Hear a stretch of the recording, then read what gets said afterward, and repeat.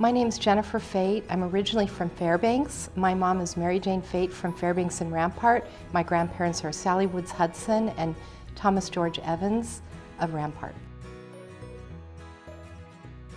It's so important to vote because when you vote, you set the agenda for the future opportunities that we have, for the protection of our land. It's so important that you vote both for Doyon and in all elections.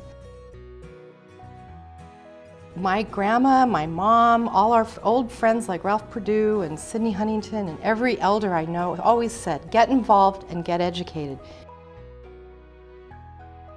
Salmon strips that we make at our fish camp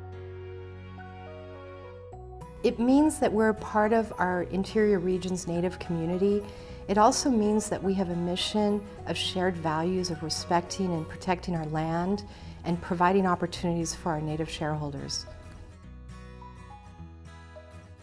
Oh gosh, my grandmother always used to say to us when we were growing up, get up and work. And she'd say, we had no money, but we were so rich because we lived off the land and we were always productive. I've been on the board for 12 years and during that time we've accomplished a lot. We've ne nearly tripled our revenues and we've also provided huge educational scholarships through Doyon Foundation Board and, and provided many other opportunities in hiring and dividends. We also have a social mission that we hold dear to our hearts and that is to improve the social well-being of many of our shareholders in need today.